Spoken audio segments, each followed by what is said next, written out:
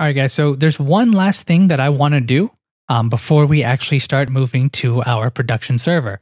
Uh, and so I want to enable CORS. And if you don't know what CORS is, it basically just allows uh, your front end to run on one domain and your uh, backend API to run on a different domain. Because by default, um, let's say your front end uh, is hosted at uh, you know www.google.com, right? And let's say your front end sends a request to I don't know, say www.yahoo.com. So let's say yahoo.com is where our API exists. Well, these are two different domains. By default, our API will reject that request from our front end.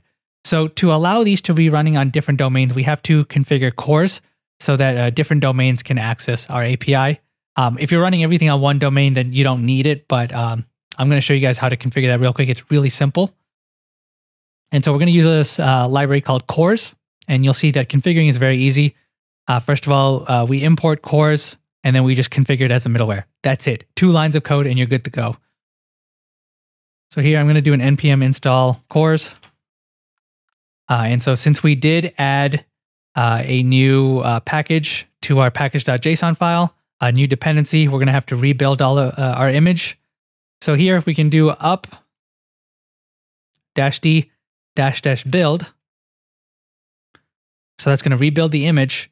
But remember, um, by default, when you run an up, uh, a Docker Compose up, when you're already up and running, uh, if you have a anonymous volume like we do in Docker Compose.yaml, and we're using that for uh, actually, where is it? It's under dev. So we have this for our node modules. What's going to happen is if we run an up when it's already up and running, it's going to use our old anonymous volume. That's going to have only the node modules before we ran the up command. Uh, and so to get the new CORS package added in, we need to make sure that we pass in the dash dash. Uh, actually, I have to figure out what it was. I have to run help to figure it out. We have to pass in the dash v. So that's going to recreate a new anonymous volume. So we'll do that. Dash v. All right, and so now if we go to our index.js, let's import the CORS library.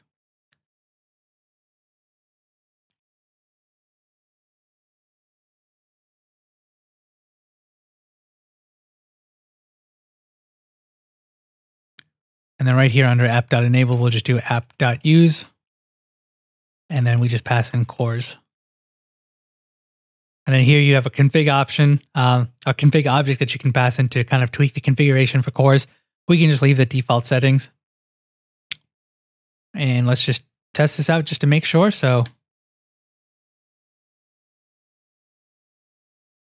all right, that worked. Not sure why it took so long. And then let's just make sure we send it to users, login, and let's see if this works. All right, status success. Perfect. All right, so guys, so we are now good to go to start deploying this to production.